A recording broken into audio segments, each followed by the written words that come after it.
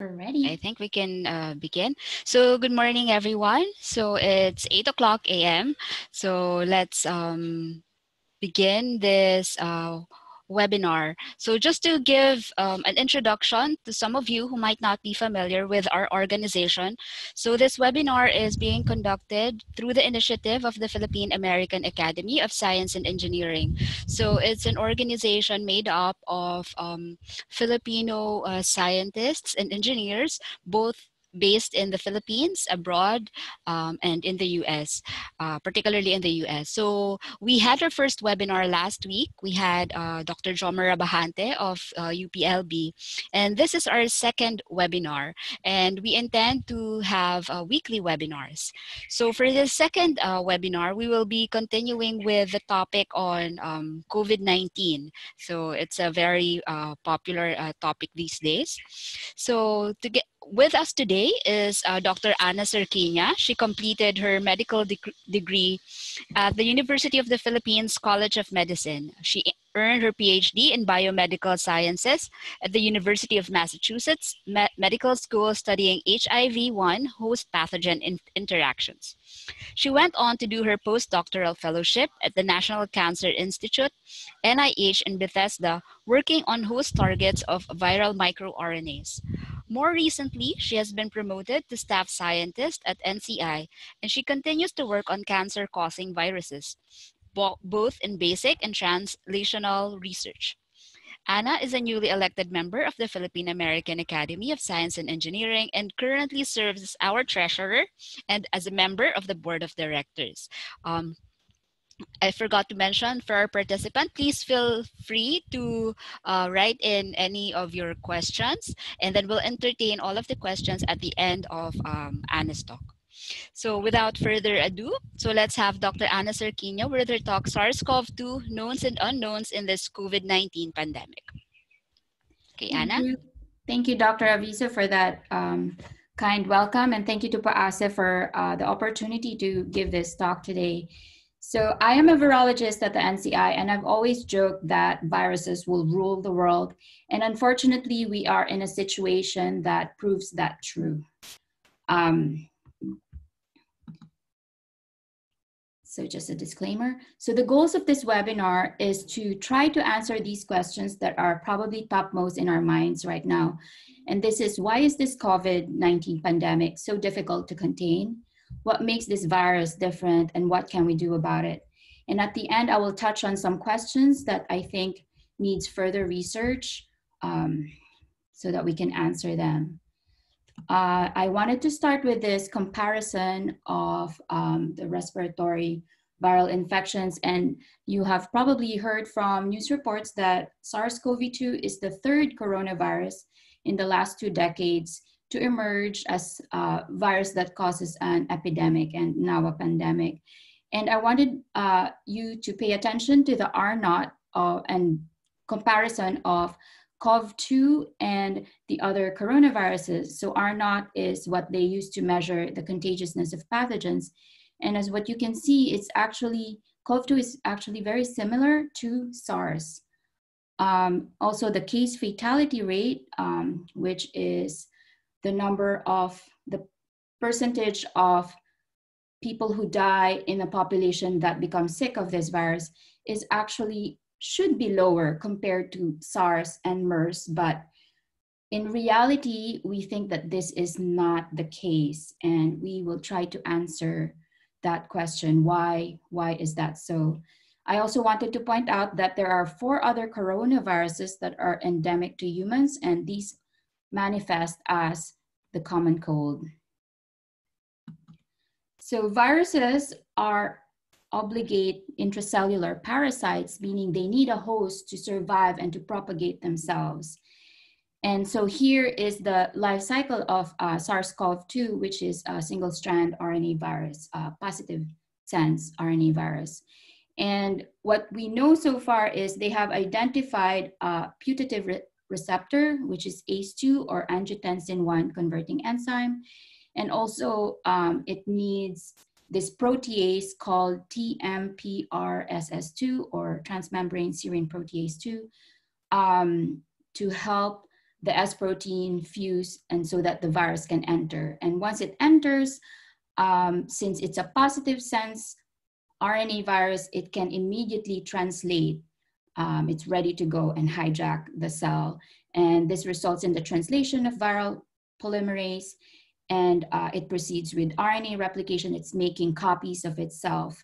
And I just wanted to note that um, for those who, of you who are concerned about mutations of this virus, this virus actually has an exonuclease for proofreading. So the mutations are not as high as you would expect. And so during RNA replication and then transcription, so the virus is now making messages to uh, direct the um, production of proteins, which the virus will then use to make new viruses or nascent variants. So these are then assembled and then are released into the environment. So this event is called um, viral shedding. You are then seeing here infectious viral particles that can infect either another cell or another host. Um, so the COV2 has been shown to infect these types of cells shown on the left of the slide, the type 1 and type 2 pneumocytes in the, in the lungs and also alveolar macrophages. And it can also infect um, mucous cells in the nasal cavity. And it is the death of the type 2 pneumocytes during COVID-19 illness that results in the loss of air ex exchange and um, fluid leakage into the lungs. And at this point, the patient will need a ventilator. So for the purposes of this talk, I'm gonna use URT1 to mean the upper respiratory tract, and this will mean the throat and the nasopharynx, and LRT to mean lower respiratory tract or the lungs. So the natural history of um, COVID-19 is um, you see the symptoms one to two weeks after your exposure from someone who is also COVID positive. And the illness duration is known to be two weeks for mild cases and about three to six weeks for severe cases.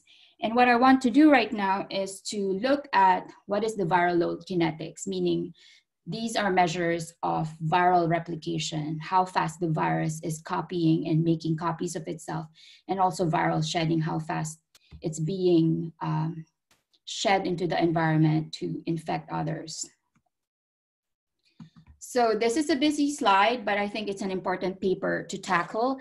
It was recently accepted in Nature, and what you're seeing is the um, manuscript form. That's why it still has the watermark.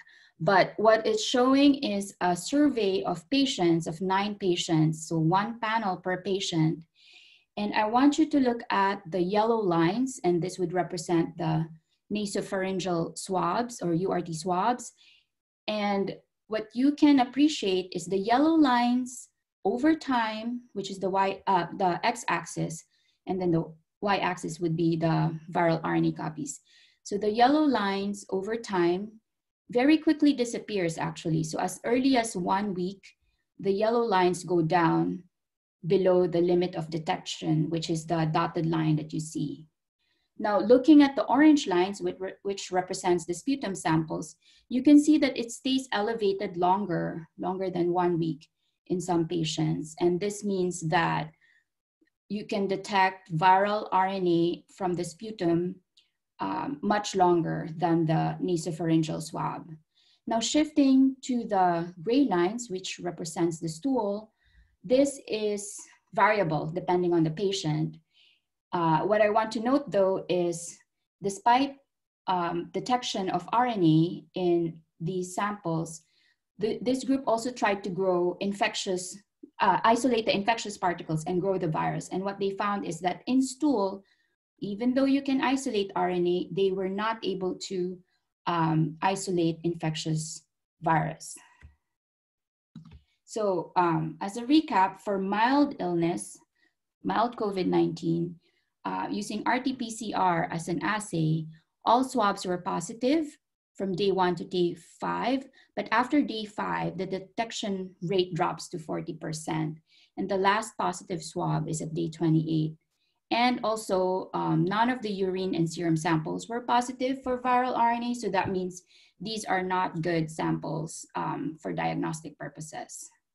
Again, I mentioned isolation of infectious virus, so can we actually grow the virus on cells? And what they saw was that no virus was isolated after the first week.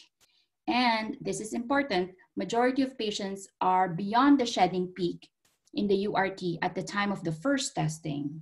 So that means the shedding peak might actually be before they become symptomatic. So the good news is that seroconversion happens. 50% uh, of patients seroconvert at day seven, and then all of them seroconvert by the end of two weeks. And um, the titer did not correlate with the clinical course. And the neutralizing antibodies actually cross-react with the four endemic coronaviruses that I mentioned.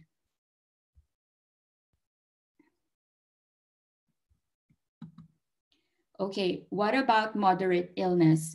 Um, so this is just one patient tracking the viral RNA load, and the blue line would be um, the blue line would be the URT specimen, and you can see that for this moderately ill patient, the URT specimen is positive for longer than one week, closer to two weeks.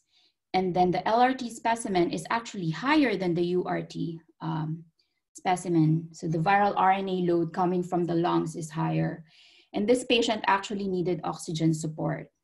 Unfortunately for this study, they were not able to do the isolation of infectious virus from the specimen. Okay, sorry. So viral shedding, again, um, this means that um, the patient is spreading the virus because the particles um, can still infect other cells or other people. And for mild and moderate um, cases, this seems to be, the viral shedding seems to be around seven to 12 days with day seven um, for mild cases. And the severe cases, uh, apparently, they um, they are uh, shedding beyond two weeks. Okay, what about uh, the comparison between COV2 and the first SARS? Um, what we are seeing is that the peak of the viral RNA load happens before day five, while in SARS from 2003, it happened after the first week. So basically for SARS, you have a symptomatic patient and then they, they start shedding much later compared to the first diagnosis. But in SARS-CoV-2, they shed a lot first and then they become symptomatic. And then if you look at the copy number, there's much more copies being made by COV2 compared to the first SARS, at least logs of difference. And for sites of replication, COV2 actually has two sites of replication, the throat and the lung, while the SARS is, first SARS is known to um, only replicate in the lungs. Okay, let's move on to asymptomatic and pre-symptomatic viral shedding. So unfortunately, um, we don't know the true asymptomatic infection rate because there is no effort as of yet to do surveillance in the general population. Um, but for pre-symptomatic, now we know that um, we can spread the virus two to eight days before onset of symptoms. And here is an example. So this is um, surveillance data from Singapore. Uh, so this cluster F, so we have the F1 patient who was exposed on February 27 in a singing class on February 27, where she was exposed to a patient with confirmed confirmed COVID. And then she attended a church service on March 1 where she likely infected F2 and F3, who sat one row behind her, and they probably sang together. And then F1 developed symptoms on March 3, F2 also developed symptoms on March 3, and F3 developed symptoms on March 5. So it's scary, but this is in support of social distancing at this time. Okay, now let's shift gears and look at COVID-19 in children. Um, for the USA population, children make up about one fifth of the population, but for COVID positive cases between February 12 and February 2, children make up less than 2% of COVID cases, and they are reported to have milder symptoms, need less hospitalization, and the exception would be infants and children with underlying conditions. And so why is that? At the moment, we don't know. And however, there are some hypotheses um, circulating, such as maybe recent immunizations of children can protect against COVID, or maybe if you have a five-year-old or a seven-year-old in the household, you know that they are always getting sick of the colds. So maybe a recent infection with coronaviruses causing colds have a protective effect. At the moment, we actually don't know the answer to this, and we need people to study this. Okay, so why is COVID-19 so deadly in some patients? And for this, we have to look at the host response. And I wanted to point your attention towards this preprint from the Tinover lab in Mount Sinai, wherein they looked at um, the transcriptome of human cells. So A549 is um, lung adenocarcinoma cells, cell line, and then they also did infections on um, this NHBE. So primary cells from bronchial epithelium from a 79 year old female. And so what they did was they infected the cells with um, either RSV, influenza virus, or SARS-CoV-2. And then they sent those samples for RNA sequencing. So looking at gene signatures, gene expression signatures, trying to see if there's any similarities or differences. And what you can see from this Venn diagram is that the one with the largest gene expression signature is RSV, and SARS-CoV-2 actually shares 79 of those gene expression changes. So what host genes are going up or going down with the infection. And SARS-CoV-2 actually does not share a lot of similarities with the influenza virus. And this means that for these three illnesses, it's very different. The gene expression changes in the host is very different. So that's the in, vi in vitro experiment. So what about in, vivo? in vivo?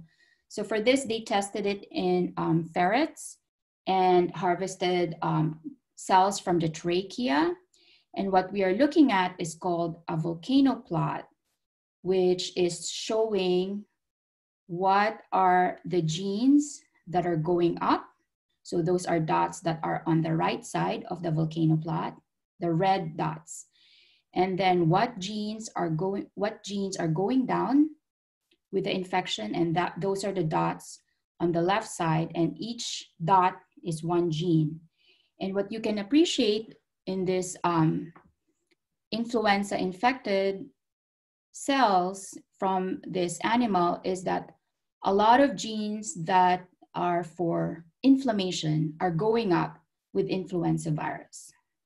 Now, what about COV2. This is what it looks like. And it looks like nothing is happening. And, you know, maybe one or two dots, that's it. And this is alarming when I saw it because it means that the immune response to the CoV2 virus is muted.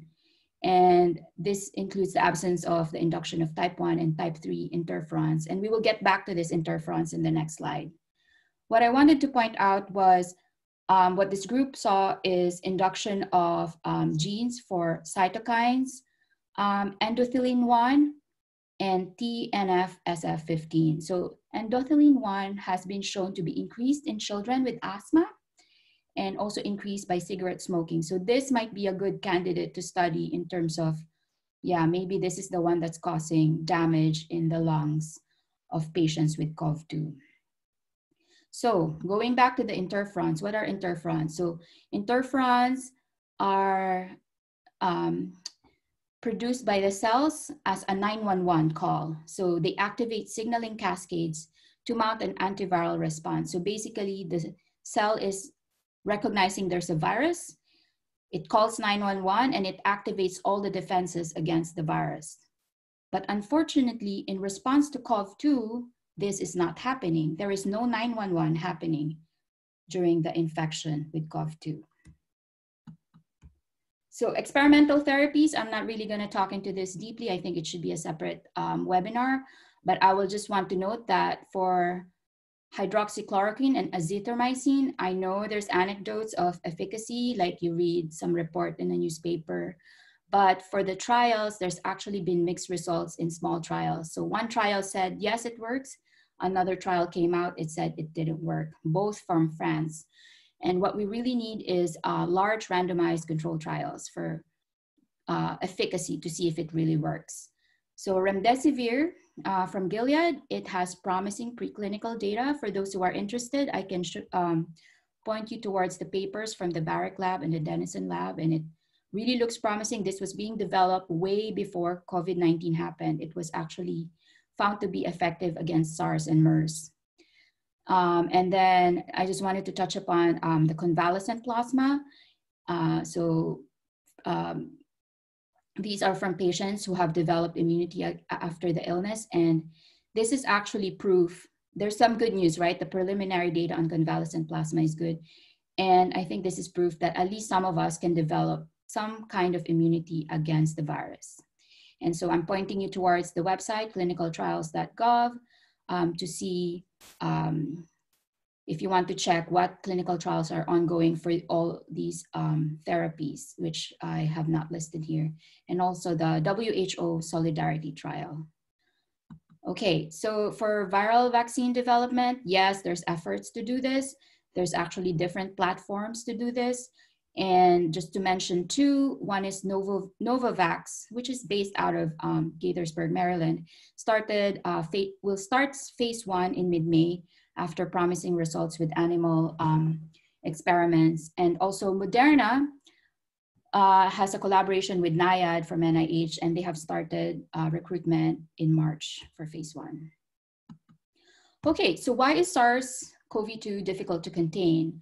And I think the answer to this is it's highly transmissible and it replicates very efficiently. Um, and the clues to this are, as what I've pointed out, there's efficient viral replication in the throat, and we see 1,000 times more um, viral copies, RNA copies than SARS-CoV. And also there's replication happening in the lungs. And then these are then expelled via droplets through sneezing, coughing, singing, talking, and then there's also evidence now that it might be going airborne. And the peak of the shedding is prior to day five, which includes a pre-symptomatic phase wherein the, the patients are already infecting other people. Um, another issue is the persistence of viral particles in the air and in its surfaces. There's a report um, that was showing that the half-life of virus particles in the air is actually three hours. So what I mean by half-life is after three hours, the virus is 50% less infections. And then at six hours, it's, it becomes, it goes down to 25. And then another three hours, it goes down to 12.5. So it will take like 24 hours before the virus is actually non-infectious in the air in that room. Okay, so there's also um, evidence that there's an insertion in the cleavage site, but there's no proof of this, but they're hypothesizing this causes a faster entry of the virus into the cell. And then of course, no or weak response, interferon response to the virus. And the host is unable to clear the virus. So what are the implications of this? I think it means that for diagnostic testing, we have to test within the first three days of symptoms, not one week you know, two weeks after. No, should be earlier than that. And then of course, PPE for everyone caring for COVID positive patients and also ask patients to wear masks to minimize the spread of viral particles. And then after discharge, patients should need to continue to self-isolate, especially for those moder moderately ill patients um, who continue to shed the virus beyond one week. And of course, this has um, implications for disinfection of hospitals and nursing facilities, um, and all these places. And I think at this point, we should just assume that everyone is COVID positive, but asymptomatic, and just wear a mask and practice social, continue to practice social distancing. So there's so many questions still. Um, why do children have milder COVID-19? I think endothelin 1 gene expression in children should be investigated. What conditions or comorbidities um, predispose the host to a weak interferon response? We don't know that. As I mentioned, from the cells, studies in the cells, that was in a 79 year old female. We should also do this in, you know, primary cells from like a 20 year old, 40 year old, uh, and see uh, what is their ability to mount an antiviral response and what factors lead to COVID-19 complications. So what, why, why does it lead to the inability to clear the virus? And is it inflammation? Is inflammation playing a role? And what is the intermediate host? Can we vaccinate them? So for MERS, what they ended up doing was vaccinating the camels to mitigate the transmission to humans. And of course, we need animal models to study this. Ferrets seem, ferrets seem to be a good model for it. How about a mouse model? And then how can we end this pandemic? How, how can we break the transmission chain? So I'm gonna point you towards Dr. Rabajante's webinar from last week. It's been recorded and the slides are available uh, for you to look at. And um, so what can we do? More diagnostic testing, support the frontliners and accelerate the pace of research, which is happening right now. And I think each one of us should think about how we can pivot each each one's research and expertise and try to help towards um, this SARS-CoV-2, understanding SARS-CoV-2. And if you can, if there's one near you, maybe volunteer to become a study participant. And lastly, we need access, open access to reliable, reproducible, and validated data. So at this point, I will end my talk. And just for a pop quiz, I want to um, check and see whether you can uh, determine for this person who is holding a pipette, doing an experiment, if this was a COVID, SARS-CoV-2 experiment, what do you think is she doing wrong at this moment with her PPE? So I'll give you maybe five seconds. And okay, so if she is indeed doing SARS-CoV-2 experiments, she should really change her mask. She should not be opening her petri dish outside the culture hood, and she should pay attention to her gloves and maybe tape her gloves to her lab gown. And that's it. That's the end of my presentation. Thank you very much, Anna. You've really raised so many questions there, and um, I think there's so much to be discussed. Um, so we have a lot of time for Q&A, so I hope our participants would also participate, and don't be shy in uh, writing down any of your questions, so Anna can see those questions um, as well as I can, I, I, think everybody can see the questions. Okay, maybe we can um, begin with uh, the earlier questions while you were presenting. So earlier on, you had a slide um, uh, looking at the the I think the the the, the tests whether they're positive or negative mm-hmm. with respect to time. So and Angeli is um, Angie is trying to ask if that's with or without treatment. So for these patients, they were mildly ill I want to say that they were not treated. Okay. Um, or minimal intervention, just supportive care. Okay, okay. So how do you think um, a treatment would influence those kinds of, yeah, the, the, those graphs? So if a treatment is effective, I'm hoping that, of course, you will see a drop in one, the viral RNA copies earlier, and then two, we won't be able to isolate infectious virus particles from sputum or swab anymore. So for this data, it was day seven, right? So maybe earlier than that, you know, if the treatment is truly effective, then that should shorten the course and help the patient recover faster. Okay, the next question is from Gis Bilardo. So does it mean that you can be tested negative when you make use of swabs, but you can actually still be positive? I think the answer is yes, based on um, what people are now publishing. It depends on when you were tested relative to when your symptoms started. So if you're tested like maybe day 10 of your illness, maybe it's already gone, especially if it's mild and you're able to clear it. Okay. Um, we have another question from Homer. Is it known if there is differential expression of ACE2 between the young and adult? Okay, um, since some of our audience might not be in this in the medical field, maybe you can um, explain to us more what's ACE2 about. And so the ACE2 is the putative receptor for um, the virus. So it's basically a handshake between the virus and the host cell. Mm-hmm. If it fits, if the spike of the virus fits the receptor, then the virus is allowed to enter the cell. So I have not seen any studies looking at differential expression, and that's definitely one of the things I think that need to be answered. And maybe if ACE, ACE2 expression is low in children, maybe the virus is not really able to enter um, their lung cells. I see. So yeah, that's a very good point. Yeah, actually, um, one of our participants, Joel, um, did uh, answer that question, but he had a follow-up question. So he wonders if nasal or oral delivery of a vaccine would be best. Nasal or oral? I don't know. I actually don't know the answer to that question. I would guess that nasal just because of the replication sites, but I'm just mm-hmm. speculating. Mm-hmm. But what about the initial um, developments that they're doing now? Um, initial research on vaccines. So, uh, how is the progress in that? And um, would you know what direction they're going? So, I don't know about the delivery system. I just know that they are looking at nanoparticles for delivery.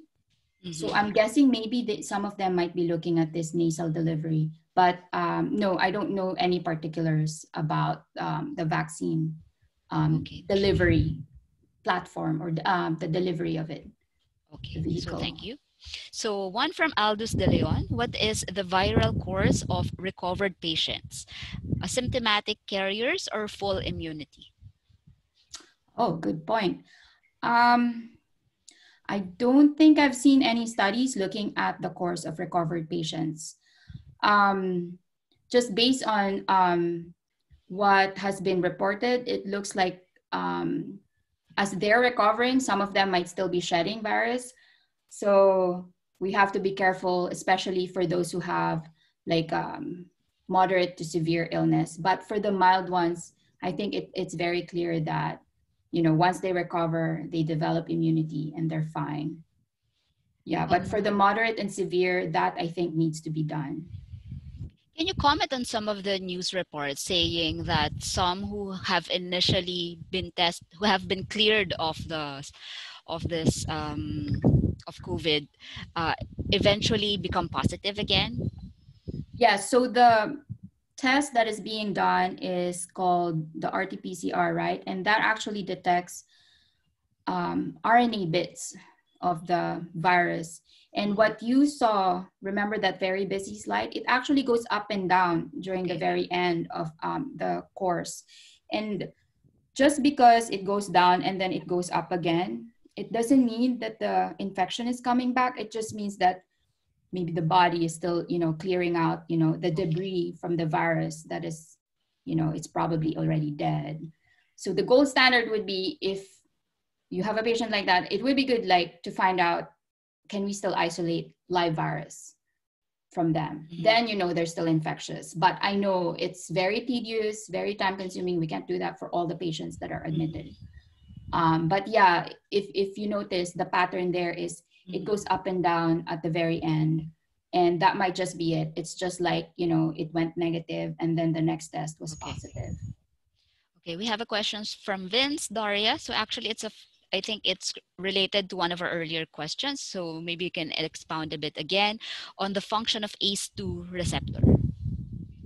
The function of, sorry, say that again. The ACE2, ACE2. receptor. Yeah, yeah. I'm sorry, I cannot comment on that. aside from the fact that I know it's the putative receptor, I know in hypertension it plays a role, but I think people who are like maybe Tony Vic, can you chime in on that? Okay, let me see. Where is uh, Tony? Is Tony around? Antonio, he's here. Antonio. Okay, hold on. Okay, let us unmute Antonio. And Antonio, maybe you can give us um, your insights on this. Ah. I can't seem to do the unmute. Oh, that's not good. Uh, can you try it from your end, Anna? Unmute audio. Yeah, I don't know why it's not doing that. I'm so sorry. Hmm.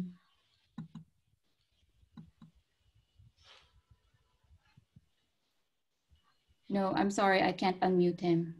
Okay, maybe we'll go through the comments later on and maybe Tony will have a feedback Yes, in our you- comment sorry, section. Tony, but could you just type it in?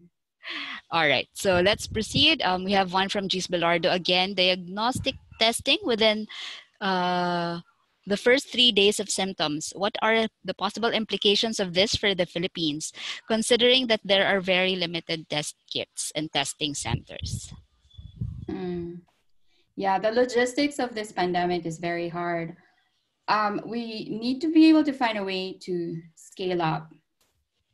Um, I've heard that there are efforts to shift towards the maybe the Cepheid um, testing kit, and that can be done quickly. And I heard that DOH ordered a lot of these kits, and there should be like 300 plus machines that DOH has. So we definitely have to work on the logistics of the testing because if you can't test, you know, how are you going to get a handle of uh, this pandemic? Okay, one from Camela. So thank you so much for that informative talk. Could you comment on Wolfell et al.'s findings that there's independent replication of SARS-CoV-2 in the throat and in the lungs? Yes, I thought that was very interesting that there's actually two sites of replication. And I think it just means that, you know, SARS-CoV-2 is probably infecting more cell types than we think. Um, so that needs to be confirmed. I'm just speculating at this point, but I thought that was very interesting that they were able to show two replication sites and maybe that's why the load, the viral load is just very high. Okay, so we had um, a response from Homer about the ACE2 receptor, saying that the ACE2 receptor is for SARS-CoV. ACE2 is the receptor for SARS-CoV-2. Um, okay, another question from Vince. So other than being a receptor of COVID-19, if we block that receptor, what are the side effects in terms of cellular function? So I'm sorry, I cannot comment on that. I know that there are some drugs that are ACE inhibitors and it's usually used for hypertensives, but Mhm. for other cell functions of ACE2, I'm sorry, it's I cannot answer it. Okay, one comment from uh, Mary Chris. Um, can these, together with our previous webinar of um, Dr. Rabahante, be converted into useful education for government leaders, especially for our IATF, so that with so that they can better understand and make decisions that are more science-based? I would love for that to happen. That's why we're doing this. Um, yes, but how is how is the situation there in the U.S. like? It's very political, unfortunately. Um, I'm so thankful that we have Tony Fauci, who is the head of NIAID, and he's on the task force as, as well. So he is very science based, at least, but there are other forces, political forces at work, unfortunately. Who are, Yeah, so it's yes, it's forces really that are more, yes, you know, forces that are more concerned about the economy. Mhm, mhm. Let's leave it at that. Okay, one question from Jerome Lazaga. Uh, granting that RNA load is highest in the first five days, how infective are asymptomatic spreaders compared this, to the symptomatic ones? So that one, we don't know. We don't know how many people, first of all, are asymptomatic, but I am guessing that they are asymptomatic because they have a way to maybe clear the virus. I'm just speculating here. I have no evidence for this. This is just my hypothesis. So maybe they are not, if they can uh, clear the virus faster or they can control the virus, then maybe they are not as bad spreaders as, say, someone who is moderately ill. But I have no evidence for that. Okay, but how is it like for other types of infections? Like maybe the previous um, coronavirus? So for coronavirus, I don't think. So the thing about the first SARS, the person becomes symptomatic first. Okay. And then about five days into their illness, then they become infectious. Like three, five days, you know, and then they start, you know, having this peak of the viral load. So that's why it's easy to quarantine them. So once they become symptomatic, ah, they I have see. fever, you know, and then oh, they came from a place or there's contact, you know, tracing done. They can easily quarantine these patients and prevent the spread. That is the difference between the SARS now and the SARS before is it's so hard to identify who is first of all how can we identify them when we don't have enough tests by the time we test them maybe they they already have low rna viral rna load right and then if they cannot be tested we cannot isolate them then maybe they just continue to spread To infect. Okay. Yeah. All right. So I think we have a response from Homer on the question about ACE2. So he said that it is involved in the renin angiotensin system, which is important in the cardiovascular related related function, vasoconstriction and um, vasodilation. Okay, and now we have um, a comment from Tony. Okay, so Krista, how will we know that the infection will confer lasting immunity? Okay, there has been an unpublished study about macaques being reinfected with a virus and displaying no symptoms. Is there a better way to test immunity? I think the only way to test immunity would be to see, you know, IgG. Do we do we get the IgG right? And then, yeah, I I don't really know of any other way to retest aside from like looking at your antibodies, right? And then does it confer lasting immunity? So the, the thing that comes to mind is at least there's cross reactivity among the um, coronaviruses. So there seems to be a protective effect. And if there's no lasting immunity, well, that means if we do vaccinate, we will have to keep boosting. Yeah. Yeah. Okay, one from Arsenio. Uh, for mask use, will an N95 mask be enough protection for aerosolizing procedures such as a tracheostomy in a COVID positive person um, needing such a procedure? I would recommend also a face shield Mhm. Okay. just because N95 is so like you really have to fit it properly, right? And Uh-huh. um, I think I read somewhere that what helps among um, the frontliners is if you do a buddy system, that you have a buddy and you will have your buddy put on their PPE, and then that Mhm. buddy will help you put on your PPE to make sure that you have it on correctly. Oh, okay. Yeah. So one from Francis Gordoves, is there evidence for HLA loci, loci to vary with immune response, prognosis, etc.? Interesting question. Francis, you should do that research.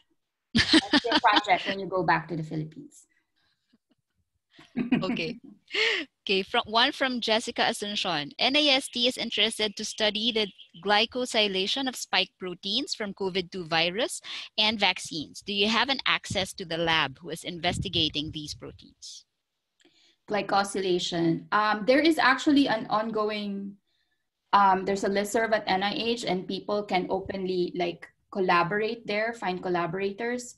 So I'm sorry, which institute did you say you were? And I, oh, hmm, Jessica Asuncion. Uh, hold on. Um, she's from Mariano Marcos State University. Okay. Um, we, what is the best way? Could you send me an email? I'm gonna flash my Yes. again. Could you send me an email and let's see if we can get you connected with the people who are doing that research.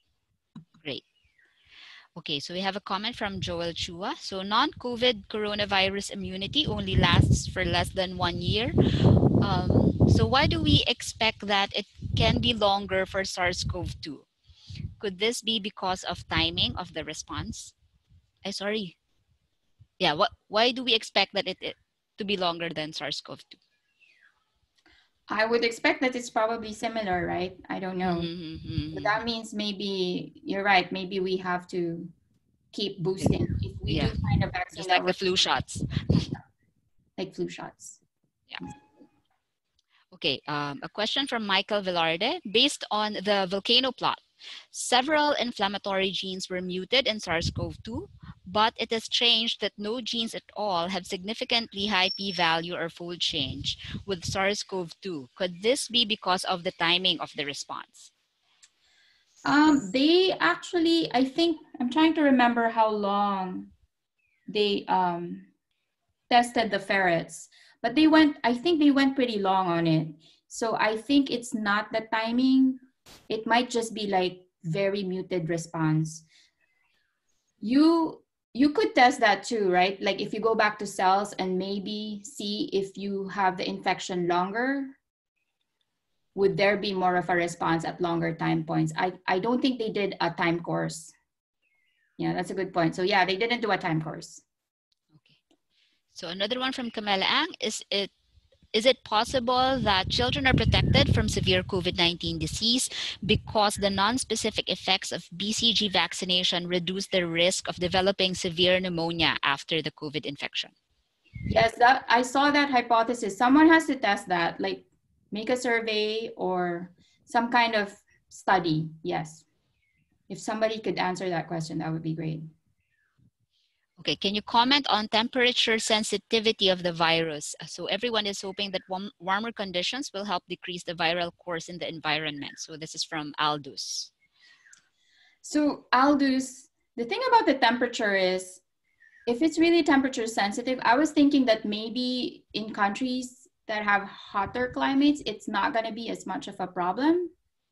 I don't know. It seems like all the countries are affected. So I'm not sure if for for us it's springtime right now. It's going to be summer in a couple of months. I don't know if it's going to go away by summertime the way flu viruses do. Mhm. I don't know. Okay, so we'll just have to wait and see. but have there been studies that have tried to test this one um, sensitivity of the virus? Yes, yes. There I'm trying to remember who it was. It doesn't come to mind at the moment. Okay.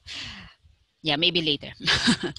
okay, so we have one question from Christina kay Amanda. Um, so we, we talked about um, some recovered patients testing positive again. Um, is there a, um, would you know how long it takes between those tests for a recovered patient to actually test positive again? So the thing about recovery is you you can be testing using the RT-PCR, right? You can be testing and just be detecting bits of the RNA, um, Mhm. bits of the virus, so the RNA genome, for instance, but it doesn't mean that the virus is there. Um, in terms of when should you test again, I think for that Nature paper, they were doing like maybe every other day. So maybe after two after two days, retest again Mhm. Because at the very end it becomes very noisy, right? It's, there's a little bit up and then a down. But this one thing too that I noticed is um, it is an RT-PCR, so there is a little bit of like um, where do they set the baseline? And I saw that some groups are not very strict in their definition of negative. So Mm. that's another thing too is your platform your diagnostic platform matters because it can be positive here but if you test in a different platform maybe it's negative if it's like right there you know Mhm. parang it's almost negative but not quite negative that's why they call it positive that kind of thing Okay, then we have a com- comment from Judy. So it's a great resource on nephjc.com regarding ACE2 and uh, COVID-19. So for those of you who are interested to read more about that, so maybe you can um, Thank you, visit Judy. that visit that particular website. Okay. Um, a comment from Virginia. Um, I hope you have invited LGU executives and their medical representatives for firsthand and better understanding of the disease. Helpful for them. This will be helpful for them. What intervention to do in their respective localities? Um, can you comment on that? How is the scenario there? Um, so I think we have, from where I am, we have federal level, you know, we have the scientists and then the policymakers, and then we also have state level, you know, the health, uh, Department of Health, and then the governor. And I feel like at least where I am in Maryland, and DC and Virginia, they are very proactive. So at least they know what's going on. They are updated by the um, experts around them. So I feel that at least maybe that's going well. However, on the federal level, I don't know. yeah, and I hope um, the same trend will happen here in the Philippines as well. okay, uh, question from Homer. On the same note as Michael Velarde's comment, what are your thoughts about the discrepancy between the ferret data and the data that IL-6 is a biomarker predictor of respiratory failure? So IL-6 is a predictor of respiratory, re respiratory failure, but only because it induces inflammation. I think that's that. It's it's a marker of um, some inflammation that is going on, and then if there's too much inflammation, then you you go towards respiratory failure because if there's too much inflammation, the cells die. Um, for the COV2, I don't know what else they're inducing and what's happening. So the, the limitation about that particular study is it was only done in ferrets and then for the human part, it was done on cells from a 79 year old woman, so elderly, right? Mm-hmm. I think what, what needs to be done is let's sample the other age groups and see if it's the same. And maybe do we see more immune response? Do we see more inflammation happening in the other age groups? Inflammation is good if it's controlled inflammation. If it's too much, it's also bad. And that can cause the respiratory failure you were talking about. Okay. Um, question from Dennis. What is your take on immunoassays, IgM, IgG detection? What would be its role if only 50% zero convert after one week? So about the assays for IgG, I don't know. It depends on what assay it is. For this particular study, they actually used immunofluorescence. So you know the protein is there, right? If you were doing an ELISA or something else, I don't know. Um, and then the other question was 50% seroconvert, convert, yeah. at one week. Yeah, it looks like recovery time just takes a little bit longer for others. Um, as to what contributes to this, we don't know at the moment. So a comment from Joel Chua. We still don't know the correlation of protection for this virus. Generally, neutralizing antibodies is the in vitro marker, but not always. Okay, um, um, question from Vince Daria. From a single cell perspective, how long does it take from entry of the COVID-19 replication to shedding? Couple of hours. I think okay. it might be 10 hours, something like that. I see. Um, and, and what's the implication of this one like? Hmm. I think it's very quick compared so, to others. Yes, like I study herpes viruses, right? So mm-hmm. they, they, cause cancer, mm-hmm. and they are pretty quiet viruses.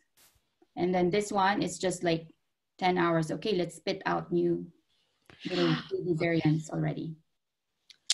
I see.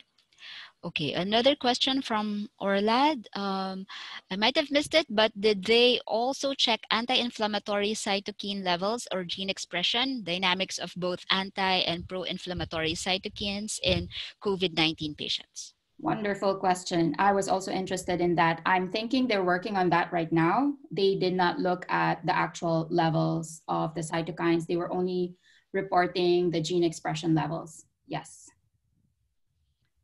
Okay. One from Joel. Uh, problem with studying SARS-CoV-2 in the lab is that you need uh, BSL-3. What does that mean? So BSL-3 is rather strict and it's there's only a couple of BSL-3 um, labs. That's That mm-hmm. might be a limitation unless you start converting. Um, so BSL is biosafety level and mm-hmm. my lab, for instance, we work in biosafety level two. Um, if you want uh, something that's stricter, there's a lot of like um, positive pressure and all that stuff. There's there's mm-hmm. more mm-hmm.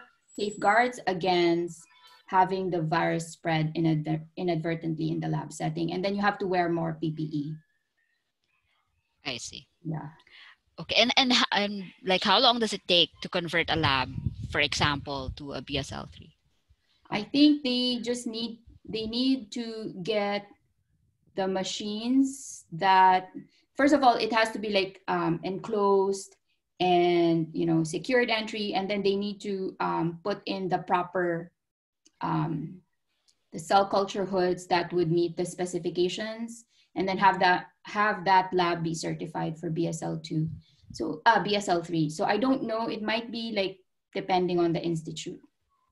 Mm, but once they file like for um, accreditation, um, it doesn't take a long time.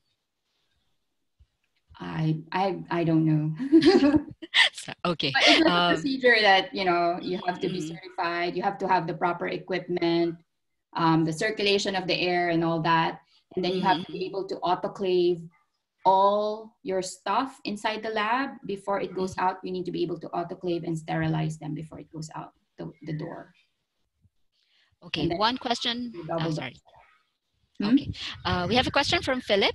Foliante, are PAPRs better than N95 respirators, especially for those who perform airway procedures? Oh, I, I'm sorry. I cannot comment on that. I am not familiar with all the different flavors of PPE. But I will try to see if I can get you some resources. Okay, that's great. Um, we have a question from Monica. Um, this was also mentioned earlier, but maybe you can comment again on it. Uh, thoughts on the protection conferred by the previous BCG? Um, let's wait and see what the study looks like. Okay, a question from Dennis. In the volcano plot, how would you reconcile the muted inflammatory genes in SARS-CoV-2 with the observation that severe COVID-19 presents with a hyperinflammatory state or cytokine storm? Yes, so that was actually good observation. That was actually something that they need to address maybe with a different model yeah so we don't know. We we don't know why it's so different from people seeing oh how come these patients are undergoing a cytokine storm? And that by the way i think might be the reason why we're some of the clinical trials are trying to you know block il-6 like tocilizumab. Yeah so i i don't know. Maybe they're not looking at the right model at the moment. Okay, one from Marge Pena. Can you comment on the rapid test from Abbott? What is the basis of this test? From Abbott. No, I'm sorry. I haven't seen the specifications of that. Is this a five minute test? I think it might be, right? Okay, no, I haven't seen the specification of that one. I know the Cepheid one is um, RT-PCR based still because it was talking about CT values but no, I, I, I still have to look at that Abbott one. Okay, an answer from Joel for the question of Aldous. Virus is heat sensitive and can be killed by 80 degrees Celsius, but that does not mean hotter climates will reduce the transmission. No one knows right now. Okay, um, from Arsenio, there are a lot of um, misting areas here in the Philippines for the contamination. Any comments about this? Is it effective or are we just exposing people to chemicals unnecessarily? Sorry, misting areas? Yeah, because now what they're doing is um, they try to do the contamination. So people like um, the, the government, local government units go around different areas trying to decontaminate. So they do misting. I'm, I'm not really sure what kind of chemicals they have in, in, in there, but they're spraying it in um, the regions. Like they go to subdivisions or maybe near the malls. Yeah, I, I don't know what's in the mist um, yeah, I think they say it's uh, something to remove the virus. I'm not sure. so, but um, is a similar procedure being done? Would you know if there's a similar procedure being done elsewhere? Okay. Not that I know of. Okay. Um, we have okay. We have a question from Giselle. Does it infect RBC or interact with HB? Um, Mm, I don't think there's any reports of it in, uh, infecting RBC, red blood cells. Okay, hold on. Uh, okay, there's a comment from Homer. It's cheaper to use BSL-3 certified isolators installed in a BSL-2 facility. Ah. That's and then there's a comment from Elmer Mojica. So the Abbott um, tests can be found in www.abbott.com slash corp newsroom slash um, product dash and dash innovation slash detect and so on and so forth. Yeah, it doesn't, so the thing is, it doesn't show the spec sheet. I want to see the spec sheet. It's more of like a media um, media um, description. I wanted to see the actual tech tech sheet for it. Okay, and then we have one from Hill Bundok. Uh, the muted immune response is surprising. Do we know which type of interferon is effective against this virus? Um, we may need to add that to therapy. Yeah, we don't know at the moment. Um, yeah, maybe interferon 1. I mean, even the SARS, the first SARS also had some dysregulation. I think there was a report that there was some dysregulation or delayed response by the interferons. Um, this is talking about the first SARS. So for the second, for this COV2, yeah, people definitely need to still study which interferon it is. Yeah, so there's really so much more um, uh, we need to understand about this uh, particular yes. virus. And then adding the interferon, yeah, Joel Chua actually asked me this one, like, should we add interferons to therapy? So we have to be very careful, right, with when playing around with interferons, especially for people with underlying um, comorbidities. Okay, I think we've gone through all of the questions. That was really great. And I, yeah, everyone was really interested. Very interesting topic. And you've raised really very relevant questions. Yeah, very good um, questions. Thank you. Yes. Uh, and okay, so before we close, I just wanted to promote. Okay, so let me just uh, share my Okay, I don't know. Oh, there we go. Okay, let me just share my screen to promote our next webinar. Okay. Um, Mm-hmm. Okay, so next week we will still continue on with our SARS-CoV-2. Uh, next week it's going to be Professor Francis de los Reyes of um, NCSU talking about fate of SARS-CoV-2 in water and wastewater. So we'll begin the webinar at the same time that we do every Friday. And if you want to register, so please uh, visit the link which I've shown you um, right here. Okay. So that's it. Um, hmm. Okay, now I don't know how to unshare my. okay, uh, hold on.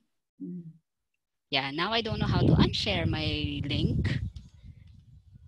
I think on the top part, at least my computer has this bar on top. Now I can't see. okay. Okay, hold on. Okay, there we go. Okay, stop sharing. Okay, thank you, thank you. Okay, so Anna, any other words? Um, I think let's keep the conversation going about this, and it's very it's great to hear um, all these relevant questions. And if we can find a way to somehow facilitate collaborations, that would be awesome. Yes, and um, please don't forget to send me your slides, the PDF version of your slides, and also a copy of this uh, video so we can upload it to the YouTube account